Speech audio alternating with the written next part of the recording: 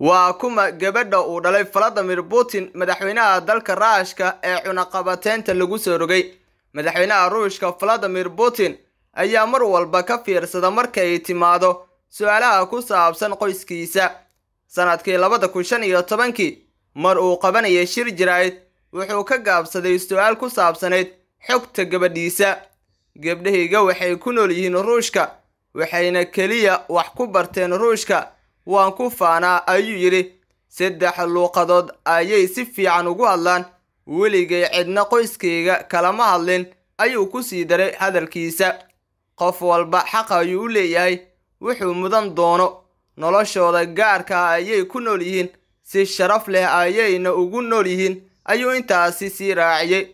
Waxaa laga yaabaa in uusan doonayn in uu magacaabo balse meelaha kale ayaa magacyadooda lagu soo qaataa wareeggii ugu dambeeyey ee cunaqabateynta maraykanka ayaa waxaa lagu beegsaday maria frotisfor oo soddon iyo lix jir ah iyo sidoo kaleba katarina tikhonofa oo soddon iyo shan jir ah.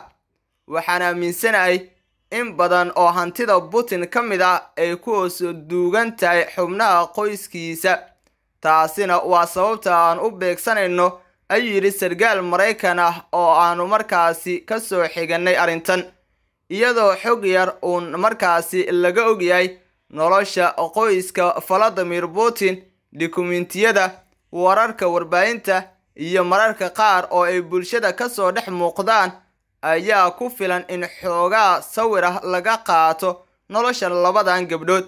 Labadan waa gabdhaha madaxweyne valadimir putin iyo xaaskiisii hore ladimila waxay valadimir putin iyo xaaskiisii hore isguursadeen sannadkii kun iyo sagaal boqol siddeetan iyo saddexdii.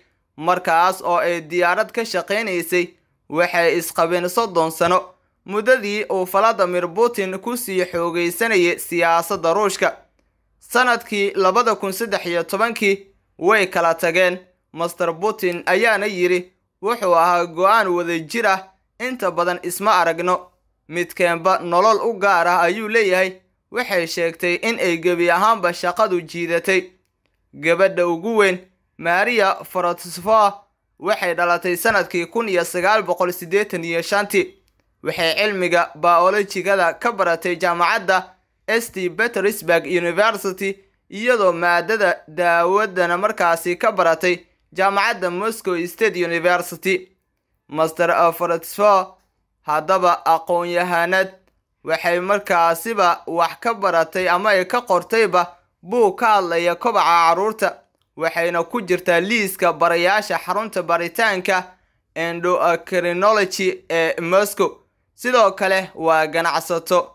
B b c da ruushiya ayaa ogaatay in ay wax ka leedahay shirkad qorsheynaysa in ay dhisto xarun weyn oo caafimaad masters frotisfor waxaa qaba ganacsadaha holland u dhashay ee joret josti vazan oo mar ka shaqayn jiray shirkadda tamarta ruushka ee kasbarom inkastoo la sheegay in aysan haatan wada noolayn dadka la hadlay tan iyo intii uu bilowday dagaalka ukraine ayaa sheegay in ay taageerto aabbahayd ayna shaki ka qabto qaabka ay dunidu u tabinayso dagaalka ukraine ka soconaya ama ka marka loo barbardhigo walaasheed katarina tikhonofa ayaa in badan lagu arkaa bulshada dhexdeeda sababtoo ah waxaa lagu yaqaan cayaaraha qoobka ciyaarka iyada oo saaxiibkeed ay markaasiba kaalinta shanaad ka galeen munaasabad caalami ah oo la qabtay sannadkii labada kun saddex iyo tobankii.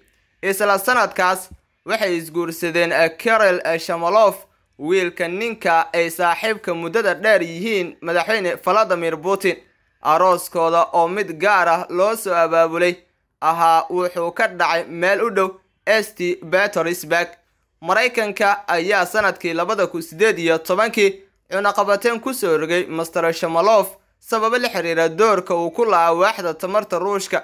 Waaxda maaliyadda maraykanka ayaa sheegtay in hantidiisa ay aad u korortay kadib guurkiisa lamaanahan ayaa kadib kala tegay.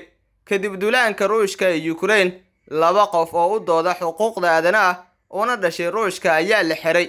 Sababo la xiriira in ay galeen dhisme ku yaalla magaalada baritsa oo markaasi la sheegay in uu leeyahay master shamalof masters teknova haatan waa ganacsato. Wax yar ayay warbaahinta ruushka ka soo muuqatay sannadkii labada kun sideed iyo tobankii iyadoo ka hadlaysay tiknolojiyadda meerfaha iyo sidoo kale madal ganacsi sannadkii hore. Midna laguma soo qaadin xiriirkooda madaxweynaha.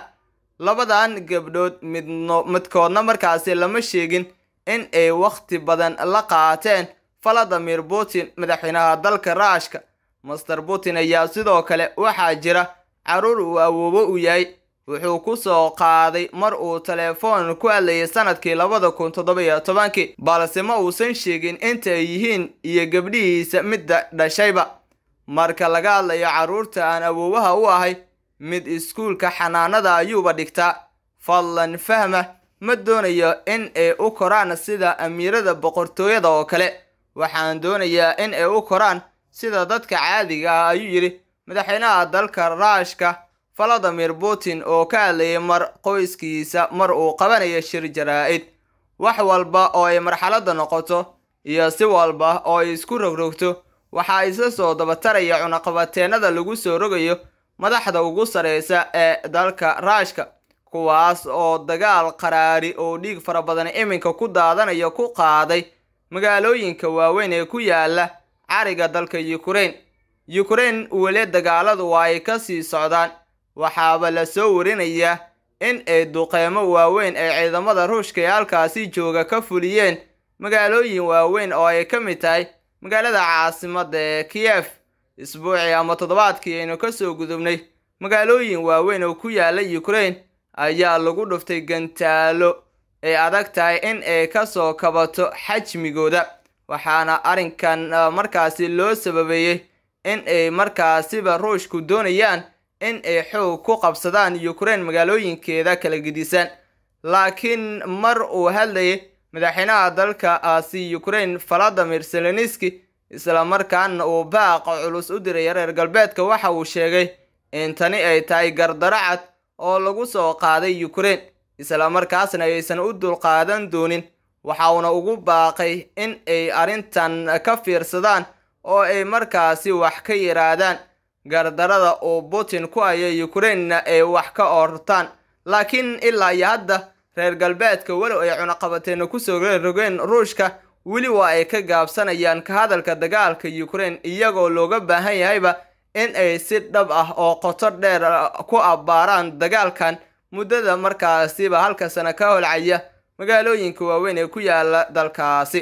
Haddii aan dagaalka la soo afjarin cunaqabateenada ayaa sii kordhaya sidoo kalena waxaa dhici karaba in markaasi ukraine ay burburto dadkeedana ay barakac xoog leh sameeyaan iyagoo haddaba barakac ku ah deegaano oo qaar oo ku yaalla dalalka caalamka oo xadka la leh markaasi dalkaasi ukraine.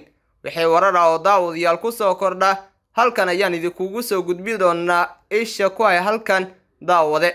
Waana ku mahadsan tahay daawashada muuqaalkan aad daawatay